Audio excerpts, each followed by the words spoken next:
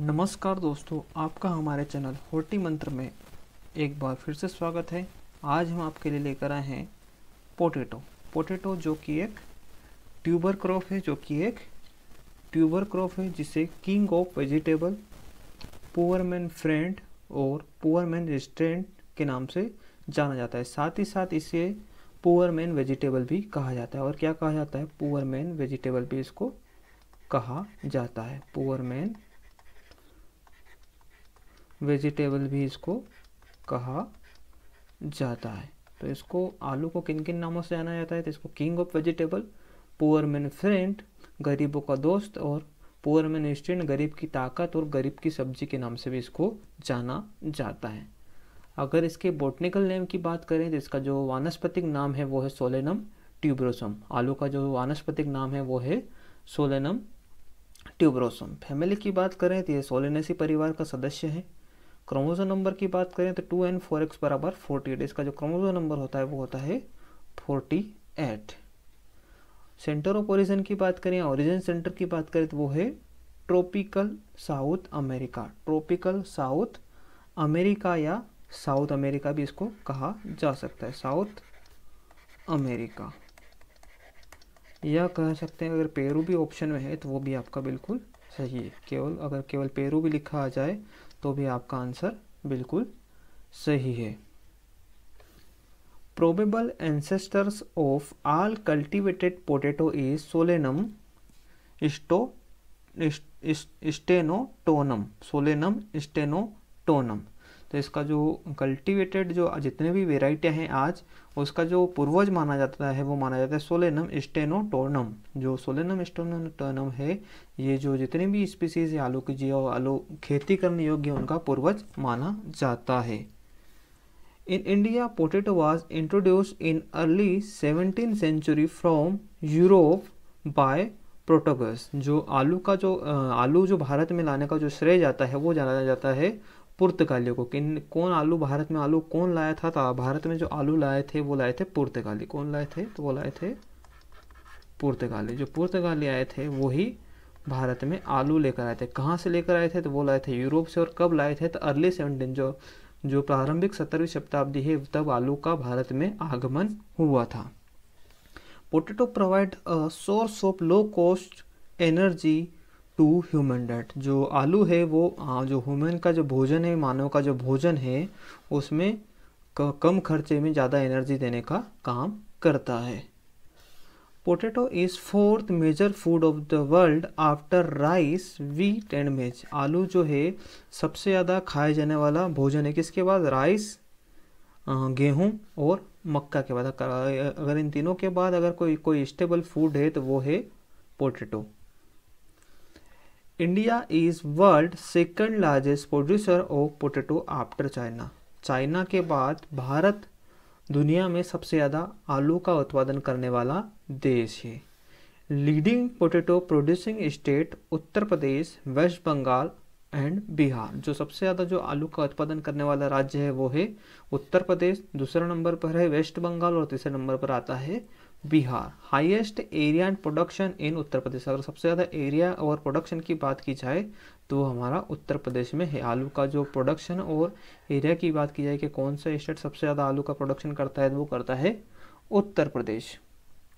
International of international year of potato is 2008 जो आलू का जो इंटरनेशनल ईयर है, वो कब कब मना था? वो था 2008 2008 को आलू का इंटरनेशनल ईयर के रूप में मनाया गया था बाय किसके द्वारा? यूनाइटेड नेशन यूनाइटेड नेशन के द्वारा इसको आलू का इंटरनेशनल ईयर घोषित किया गया था, जो यूनाइटेड नेशन है, उनके द्वारा। ठीक है? It is stable food of Ireland और ये आयरलैंड का स्टेबल फ़ूड है, क्योंकि आयरलैंड में सबसे ज़्यादा आलू ही खाए जाते हैं या भोजन के रूप में आलू का ही उपयोग किया जाता है। Potato are rich source of starch vitamin specially in vitamin C and vitamin B one and minerals तो आलू में जो स्टार पाया जाता है, उसमें जो कार्बोहाइड्रेट की मात्रा है कार्बोहाइड्रेट की बात करें कार्बोहाइड्रेट की अगर बात करें तो इसमें लगभग जो कार्बोहाइड्रेट पाया जाता है वो पाया जाता है बाईस दशमलव छः प्रतिशत। अगर विटामिन सी की बात करें विटामिन सी कितना पाया जाता है? तो विटामिन सी पाया जाता है लगभग सत्रह मिलीग्राम पर सौ ग्राम। इतना इसमें विटामिन सी पाया जाता है। और अगर कार्बोहाइड्रेट की बात करें तो कार्बोहाइड्रेट जो होता है बाईस दशमलव छः प्रतिशत इसमें पाया जाता है। Potato is grow in all ये ऑल इंडिया एक्सेप्ट केरला आलू की खेती पूरे भारत में की जाती है केवल केरला को छोड़कर. केरला राज्य को छोड़कर आलू की खेती पूरे भारत में की जाती है. CPRI Central Potato Research Station, was established in 1949 at Patna Bihar. And later shifted to Shimla, Himachal Pradesh in 1956. जो आलू का जो केंद्रीय रिसर्च स्टेशन है या केंद्रीय जो रिसर्च स्टेशन है उसकी जो स्थापना हुई थी वो हुई थी उन्नीस में और कहाँ हुई थी? तो पटना बिहार में हुई थी।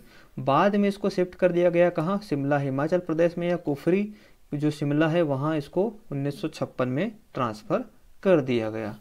International potato centre was establish in 1971 at Lima Peru जो अंतर्राष्ट्रीय आलू अनुसंधान केंद्र है, वो कहाँ है? वो लीमा, पेरू में है और इसकी जो स्थापना हुई थी, वो हुई थी 1971 में। कल्टिवेटेड पोटैटो इज़ टेट्राप्लोइड जो कल्टिवेटेड पोटेटो है, वो टेट्राप्लोइड है और टेट्राप्लोइड में भी कौन से प्रकार का है? थी आटो टेट्राप्लोइड है। कौन से प्रकार का है? आटो टेट्राप्लोइड कल्टीवेटेड जो स्पीसीज है, वो आटोटेट्राप्लोइड होती है और क्रोमोसोम होता है इसका टू एन फोर एक्स बराबर फोर्टी एट, ठीक है? Potato is dicot thermosensitive and सीथिव plant जो आलू है ये डाइकोट है थर्मोसेंसिटिव मतलब ताप संवेदी पौधा है और सीथी प्लांट है। ताप संवेदी मतलब इसका टेम्परेचर का इस पर बहुत ज़्यादा इफ़ेक्ट आता है, इसकी ग्रोथ और ट्यूबुलेशन पे। Long day plant but cultivated as short day plant in India. आलू क्या है? एक लॉन्ग डे प्रकार का पौधा है, बाकी जो भारत में जो कल्टिवेटेड किया जाता है, उसको शॉर्ट डे प्लांट के रूप में कल्टिवेटेड इसको किया जाता है। Seed plot technique was given by Pushkar Nath in 1965 जो आलू की जो सीड प्लॉट टेक्निक है, वो किसके द्वारा दी गई थी? तो वो दी गई थी पुष्कर नाथ के द्वारा, और कब दी गई थी? तो उन्नीस सौ पैंसठ के दौरान इसको विकसित किया गया था। ट्रू पोटेटो सीट की बात करें, जिसको टीपीएस के नाम से जाना जाता है तो जो ट्रू पोटेटो सीट की जो टेक्निक है, ये दी गई थी रामानुजन के द्वारा। किसके द्वारा दी गई थी? तो रामानुजन के द्वारा दी गई थी। Protein rich transgenic potato has been develop by protein synthesizer gene, जो प्रोटीन रिच वेराइटी है, जो कि जीएम वेराइटी है, ट्रांसजेनिक वेराइटी है पोटेटो की। वो किसके द्वारा, जो प्रोटीन सिंथेसाइजर एक जीन है, जिस जीन का जो नाम कौन सा है, वो है ए एम ए एल कौन सा जीन ए एल जीन इसका उपयोग करके जो आलू की प्रोटीन रिच वेराइटी को विकसित किया गया है। Protein synthesizer gene was isolated from grain amaranthus और जो ये जीन है, इसको किसके द्वारा, किससे आइसोलेट किया गया था? तो जो ग्रेन अमेरेंथस है, उससे इस जीन को आइसोलेट किया गया जिससे क्या है कि आलू के जो ट्यूबर है, उसमें प्रोटीन की मात्रा को बढ़ाया जा सके। एक और जीन है gene resistant to potato tuber and leaf eating caterpillar एक और जीन है जो क्राई वन बीटी जीन इसका उपयोग जो पोटेटो के जो ट्यूबर मोथ है और लीफ ईटिंग केटरपिलर है, उसके प्रति रेसिस्टेंट डेवलप करने के लिए इसका उपयोग किया जाता है। कौन से जीन का? Cry one Bt gene next है propagation by seed and tuber आलू का जो प्रोपोगेशन होता है वो किसके द्वारा होता है? या तो सीड के द्वारा होगा या फिर सीड ट्यूबर के द्वारा इसका प्रोपोगेशन होता है। Optimum size of seed tuber जो सीट ट्यूबर का जो साइज़ है वो कितना होना चाहिए? तो सीट ट्यूबर का जो साइज़ होता है, वो होता है 30 से 40 ग्राम के जो सीट ट्यूबर है वो आइडियल माने जाते हैं। सीड रेट की अगर बात करें तो 1500 से 2500 KG seed tuber depend on size जो जो साइज़ डिपेंड करेगा, जो क्वांटिटी डिपेंड करेगी, वो ट्यूबर के साइज़ पे डिपेंड करेगी। 1500 से 2500 केजी मतलब 15 से 25 क्विंटल प्रति हेक्टेयर और 100 से 120 ग्राम टीपीएस जो ट्रू पोटैटो सीड वो कितना लगेगा? तो उसकी जो लगता है, वो लगता है 100 से 120 ग्राम, जो ट्रू पोटैटो सीड की रिक्वायरमेंट होती है। ये क्वेश्चन कई बार आया हुआ है। अगला है स्पेसिंग तो स्पेसिंग 45 से 60 सेंटीमीटर रो टू रो अगर रो टू की बात करें तो 45 से 60 सेंटीमीटर अगर प्लांट टू प्लांट स्पेसिंग की बात करें तो वह है 15 से 20 centimetre potato water requirement water requirement की बात करें तो आलू में जो पानी की आवश्यकता होती है, वो होती है 400 से 600 एम एम चार सौ से 600 एम एम इसमें पानी की आवश्यकता होती है। टाइप ऑफ़ फ्लावर की बात करें तो इसका जो फ्लावर है, वो हर्माफ्रोइड प्रकार का फ्लावर है। इन्फ्लोरेसेंस की बात करें इसका इन्फ्लोरेसेंस साइम्स कहलाता है। पोलिनेशन की बात करें तो आलू सेल पोलिनेटेड क्रॉप है। टाइप ऑफ़ फ्रूट तो इसका जो फ्रूट टाइप है, वो बेरी है। इडेबल पार्ट की बात करें तो जो इडेबल पार्ट है वो ट्यूबर खाए जाने वाला योग्य जो भाग है ट्यूबर है और ट्यूबर एक प्रकार का क्या है? मॉडिफाइड स्टेम है। ट्यूबर क्या है? मॉडिफाइड स्टेम है। Potato stem is known as haulm जो पोटेटो का जो स्टेम है उसको हुल्म कहा जाता है और potato tubers borne at stolon आलू के जो कंद बनते हैं वो स्टोलन के एंड पे बनते हैं। अब जान लेते हैं कि कौन से भाग को हम क्या कहेंगे। तो जो आलू का जो भूमि से ऊपर वाला भाग है, इसको क्या कहते हैं? इसको में कहते हैं। इसको क्या कहते हैं? इसको में कहते हैं। अब स्टोलन की बात करें कि स्टोलन कौन से हैं? तो ये जो है, एक तो निकली है प्लांट से रूट, और रूट के साथ ही क्या निकले हैं? स्टोलन। इन्हीं से क्या है? आलू बनते हैं। स्टोलन के एंड पे ही आलू डेवलप होते हैं। जो कि कहाँ से निकले थे जो कि स्टेम से निकले कहाँ से निकले निकलते हैं तो ये मॉडिफाइड स्टेम ही है स्टोलन, जिसके एंड पर क्या है? आलू के कंद बनते हैं, और ये है रूट। तो रूट से कंद नहीं बनते, जो जो स्टेम है उससे जो स्टोलन निकले हैं उन्हीं स्टोलन के एंड वाले पोर्शन पे क्या बने हैं? ट्यूबर बने हैं। और जो अपर पार्ट है उसको क्या कहा जाता है? हिल्म कहा जाता है। और इसको आलू के कंद बनने के बाद इसको हटाने की, की जो क्रिया है उसको डी हेलिमिंग कहा जाता है। जो हटाने की क्रिया है उसको डीहेलमिंग कहा जाता है। Potato tuber dormancy more than ten to eight week और टू टू थ्री मंथ आलू के कंद में जो डोरमेंसी होती है, वो आठ से दस सप्ताह या दो से तीन महीने तक हो सकती है। Tuber are soaked in one percent thiourea plus one P P M G A three for one hour to breaking tuber dormancy. आलू के अगर ट्यूबर की अगर डोरमेंसी को ब्रेक करना है तो एक प्रतिशत थायोरिया प्लस एक पीपीएम जिब्रेलिक एसिड के घोल में आलू के कंदों को एक घंटे तक रख कर उसकी डोरमेंसी को तोड़ा जा सकता है। सोयल पीएच की बात करें कि आलू के कल्टीवेशन के लिए जो सोयल पीएच की रिक्वायरमेंट क्या होगी तो वो होती है साढ़े पाँच से साढ़े सात पीएच होना चाहिए। या कह सकते हैं कि एसिडिक टू जो न्यूट्रल पीएच की जो सोयल है, वो आलू की खेती के लिए सबसे उपयुक्त मानी जाती है। Maximum area potato in alluvial soil सबसे ज़्यादा कौन सी मिट्टी में आलू की खेती की जा सक, जाती है तो वो है alluvial soil favourable temperature for tuber formation. Tuber formation के लिए जो सबसे उपयुक्त तापमान है वो है बिलो 21 डिग्री सेल्सियस। जो 20 डिग्री सेल्सियस से नीचे का तापमान है या कहें कि जो 20 से लगाकर 21 डिग्री सेल्सियस वाला तापमान है, वो आलू में कंद बनने के लिए सबसे उपयुक्त होता है। Most of the cultivar to to cultivar do not tuberise when night temperature is more than twenty three degree Celsius temperature अगर बहुत सारी वेराइटी ऐसी हैं, अगर उस, अगर ना रात का जो तापमान है, अगर वो तेईस डिग्री से ऊपर चला जाता है तो उसमें ट्यूबर फॉर्मेशन नहीं होता या ट्यूबर का जो बनना है, वो काफ़ी हद तक प्रभावित होता है। Potato require long day condition during growth जब ग्रोथ का पीरियड होता है तो इसमें लॉन्ग डे कंडीशन चाहिए and short day condition during tuberisation जबकि जो ट्यूबर फॉर्मेशन होता है तो उसको शॉर्ट डे कंडीशन चाहिए। Ridge and furrow method is most suitable for potato cultivation. Potato cultivation के लिए सबसे उपयुक्त जो मेथड है वो है रीज एंड फरो मेथड। है earthing up is done done 40 days after sowing. जो आलू में जो मिट्टी चढ़ाने की क्रिया है ये, जो ट्यूबर की सोइंग के 40 दिन बाद की जाती है। Nitrogen is most important nutrient for potato crop आलू में सबसे जो ज़्यादा जिस पोषक तत्व की आवश्यकता होती है, वो है नाइट्रोजन। नाइट्रोजन इसके लिए काफ़ी महत्वपूर्ण पोषक तत्व है आलू की खेती के लिए। सोलेनिन कंटेन 5 मिलीग्राम पर 100 ग्राम greater than 2 milligram per 100 gram solanine content in potato is unfit for consumption अगर आलू में जो सोलेनिन है, आलू जब क्या है कि हमने रीज और फरों पे जो आलू लगाया, हमने रीज और फरों पे आलू लगाया है, अगर वो डायरेक्ट जो सनलाइट के अगर कॉन्टेक्ट में आता है तो वो उसमें ग्रीनिंग आ जाती है। क्या आ जाती है? आलू ग्रीन हो जाते हैं। आलू ग्रीन हो जाते हैं। किसके कारण से ग्रीन होते हैं? तो ये सोलेनिन के कारण से हो जाते हैं। अगर सोलेनिन का कंटेंट आलू में पाँच मिलीग्राम प्रति सौ ग्राम है, वहाँ तक तो चलेगा। लेकिन अगर जो सोलेनिन का कंटेंट बीस मिलीग्राम प्रति सौ ग्राम से ज़्यादा हो जाता है तो वो आलू खाने योग्य नहीं होते हैं। Aroma in potato is due to dimethyl pyrazine आलू के जो ट्यूबर है, उसमें जो खुशबू होती है, किसके कारण से होती है? वो होती है अरोमा। वो होता है डाई मिथाइल पायरेजिन के कारण से होती है। आयलू में जो अरोमा होता है, वो डाईमिथाइल पायरेजिन के कारण से होता है। हार्वेस्टिंग की बात करें तो इसकी जो प्लेन्स है, जो मैदानी इलाके हैं, वहाँ इसकी हार्वेस्टिंग की जाती है जनवरी से फरवरी के महीने में, जबकि जो नॉर्थ इंडिया, जो नॉर्थ इंडिया के जो हिली रीजन है, वहाँ इसकी जो हार्वेस्टिंग की जाती है, वो की जाती है सेप्टेम्बर से अक्टूबर के दौरान।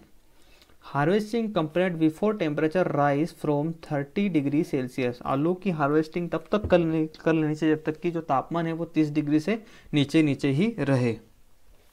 Freshly harvested potato contain 80 percent water and 20 percent diameter. जो फ्रेशली जो ट्यूबर हमने हार्वेस्ट किए हैं, उसमें लगभग 80 प्रतिशत तो क्या है, पानी ही होता है और जो 20 प्रतिशत तक उसमें ड्राई मैटर होता है। अस्सी प्रतिशत तक पानी और 20 प्रतिशत तक उसमें ड्राई मैटर होता है। वेयर हाउस स्टोरेज की बात करें तो जो वेयर हाउस स्टोरेज का जो टेम्परेचर रखा जाता है, वो रखा जाता है आठ से दस डिग्री सेल्सियस टेम्परेचर और जो ह्यूमिडिटी रखी जाती है, वो रखी जाती है अस्सी प्रतिशत। अगर कोल्ड स्टोरेज की बात की जाए तो जो कोल्ड स्टोरेज का जो टेम्परेचर होता है, वो होता है दो से तीन डिग्री सेल्सियस और जो रिलेटिव ह्यूमिडिटी रखी जाती है, वो रखी जाती है पचहत्तर से अस्सी प्रतिशत। और जो सीड के लिए जो आलू रखा जाता है, सीड ट्यूबर सीड ट्यूबर को स्टोरेज करने का जो टेम्परेचर है कभी कभी पूछ लेते हैं सीड ट्यूबर को स्टोरेज करने का जो टेम्परेचर होता है, स्टोरेज टेम्परेचर, वो भी कितना है? वो भी दो से चार डिग्री सेल्सियस ही है। वो भी कितना है? दो से चार डिग्री सेल्सियस ही है। Table and processing potato stored at high temperature, ten to twelve degree Celsius, long term six to eight month. जो टेबल पर्पस और जो प्रोसेसिंग के लिए जो आलू के ट्यूबर रखे जाते हैं, वो रखे जाते हैं दस से बारह डिग्री सेल्सियस के तापमान पर और इसको लगभग छः से आठ महीने तक रखा जा सकता है। वेराइटी की बात कर ले तो जो अर्ली वेराइटी है वो है कुफरी अशोका, कुफरी चंद्रमुखी, कुफरी जवाहर, कुफरी कुबेर, कुफरी लवकार, कुफरी सूर्या। और अगर मिड वेराइटी की बात करें तो कुफरी अलंकार, कुफरी आनंद, कुफरी अरुण, कुफरी बहार, कुफरी चिपसोना फोर कुफरी गंगा, कुफरी गौरव, कुफरी गिरिराज कुफरी हिमालिनी, कुफरी ज्योति। कुफरी कंचन, कुफरी लालिमा, कुफरी मेघा, कुफरी मोहन, कुफरी मुथु कुफरी रेड, कुफरी सदाबहार, कुफरी संगम, कुफरी सेलजा और कुफरी सतलज। अगर लेट वैरायटी की बात करें तो वो है कुफरी चमत्कार, कुफरी हिमसोना कुफरी जीवन, कुफरी खासीगारो, कुफरी कुमार कुफरी कुंदन कुफरी नवीन कुफरी नीला कुफरी सफ़ेद कुफरी सिंदूरी अब वेराइटल की कुछ डिस्क्रिप्शन या स्पेशल कैरेक्टर की बात कर लेते हैं तो जो कुफरी ख्याति वेराइटी है, जो कि अर्ली वेराइटी है रसिस्टेंट टू लेड ब्लाइट ये लेड ब्लाइट के प्रति रसिस्टेंट होती है और अर्ली ब्लाइट के प्रति भी रसिस्टेंट होती है। Early bulker and suitable for high crop intensity जो कुफरी ख्याति वेराइटी है, एक तो अर्ली वेराइटी साथ ही साथ इसको हाई क्रॉपिंग इंटेंसिटी मतलब इसकी जो सोइंग की पास पास की जा सकती है। कुफरी देवा, ये लेट वेराइटी है। Frost tolerant and good keeper, ये फ्रोस्ट के प्रति टोलरेंट होती है और इसकी की जो कीपिंग क्वालिटी है वो अच्छी होती है। मिड वेराइटी की बात करें तो कोफरी सीतमान, जो कोफरी सीतमान है रेसिस्टेंट टू फ्रोस्ट होती है। फ्रोस्ट के प्रति रेसिस्टेंट होती है। Kufri Badshah resistant to late blight early blight और potato virus X multiple disease resistant अगर क्वेश्चन पूछा जाए कि कौन सी वैरायटी मल्टीपल डिसीज रेसिस्टेंट है तो वो भी वो आंसर आएगा कोफरी बादशाह। कोफरी बादशाह जो मल्टीपल डिसीज रेसिस्टेंट वेराइटी है पोटेटो की। Kufri Chipsona one two और three resistant to late blight और suitable for chips and French fries making जो कुफरी चिप्स होना वेराइटी है एक, दो, तीन, Kufri Chipsona one Chipsona two और चिप्सोना थ्री ये लेड ब्लेड के प्रति रेसिस्टेंट है, साथ ही साथ चिप्स बनाने के लिए और फ्रेंच फ्राइज बनाने के लिए उपयुक्त वेराइटियाँ हैं। कुफरी फ्राई फ्रायोम एम की बात करें तो रेसिस्टेंट टू लेड ब्लाइट और जो पोटैटो का पोटैटो वायरस वाई है, उसके प्रति ये रेसिस्टेंट होती है और suitable for French fries French fries बनाने के लिए उपयुक्त वेराइटी है। स्पेशल कैरेक्टर में क्रूफ्री फ्राई सोना की बात करें तो resistant to late blight and suitable for French fries Kufri Garima, ये रेसिस्टेंट टू लेड ब्लाइट के प्रति रेसिस्टेंट है। Kufri Girdhari highly resistant to late blight and long tuber dormancy जो कुफरी गिरधारी है, इसमें जो ट्यूबर की डोरमेंसी लॉन्ग टाइप तक इसमें जो ट्यूबर है, वो डोरमेंट होते हैं। कुफरीकरण की बात करें तो high resistant to late blight six potato viruses and potato cyst nematode, जो कुफरीकरण है, ये भी क्या है? Highly resistant to late blight six potato virus और पोटेटो सिस्ट नेमाटोड के प्रति रेसिस्टेंट होती है।